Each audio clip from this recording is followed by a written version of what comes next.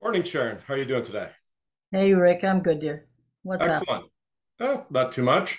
Uh, I was just uh, reading the email that you sent out about uh, if you're considering moving to a rural area with interest. Uh, I know with uh, doing mortgages, it can definitely be more complicated uh, to, well, a lot of lenders simply aren't interested in lending in rural areas, for example. So first you have to find the right lender and so forth. Um, but there's also many other issues that you wouldn't normally deal with if you're looking at a city property. Um, what would you, uh, if, if you had a client that really wanted to move to a rural area, what would be some of the things that you would tell them to consider uh, before uh, taking that leap? Okay, that's a great question. And uh, you know what? I'd love to break this in two parts if we can. I want to answer your question, but then I want us to come back and answer it from the lender's point of view. Oh, okay, if sure. there's, because I I have questions on that as well.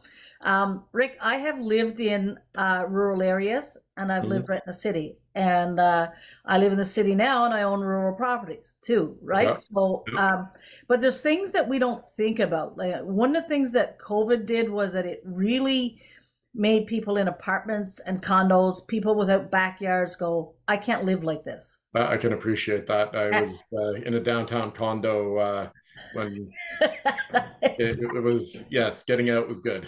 Yeah, so so they they they were listing their properties and they were buying out in the country. Some were. Mhm. Some found that it wasn't as easy to do as they thought. Um, there's a lot of things about um, a rural property that we just have to think about. One is not for everybody because you know, like it's it's just that it just takes you further out away from everything you know. Um, it is excellent in terms of giving you more space, less purchase price for the house, and things like that.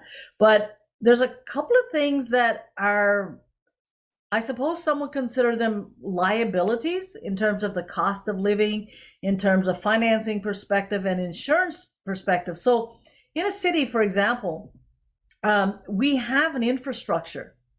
We have, um, you know, supposedly great plumbing, great sewer systems, great roads. We have great transits. We've got uh, communities that are intentionally planned, so we know where the water runoffs are. We know the soil's been tested for environmental things. Um, so all of that stuff is actually a really big one. So what we don't realize moving out to the country Mhm. is that and it's something that I learned when I had bought my first property out there was that you know it is not there are no assessments done in terms of um, the quality of the soil, but also the likelihood of things like flooding.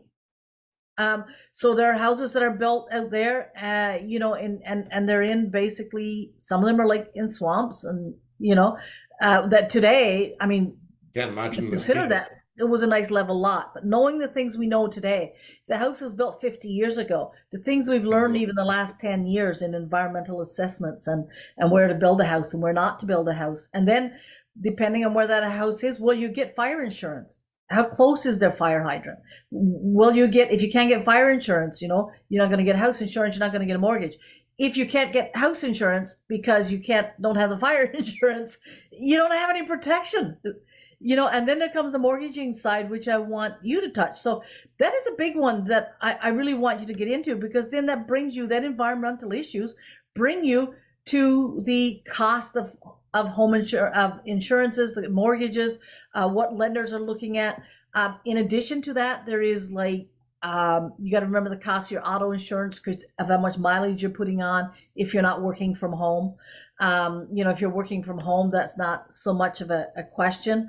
Um, you know, we think, you know, the other thing that we don't really look at is the cost of, um, for example, in the city, we try and keep more green space, but you know, we also have things like more squirrels in the attics chewing up wires. We have, we'll have things like little rodents, um, you know, causing damage in our attics or to our wiring, and we get insurance and they take care of that. Remember that if depending where rural is for you and how country country is for where you buy. We're not talking just north of Newmarket here.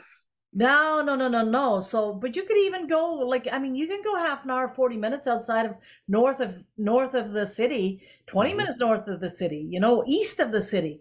You Sure. don't have to go that far.